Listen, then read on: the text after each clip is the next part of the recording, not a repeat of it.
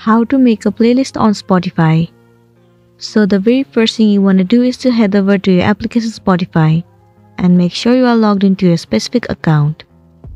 Once you are in here, head over to the song that you want to add it in your playlist. So let's say you want to add this song. Tap on this three dot and then click on add to playlist. Click on new playlist. Now over here you need to give your playlist a name. You can enter any name that you prefer.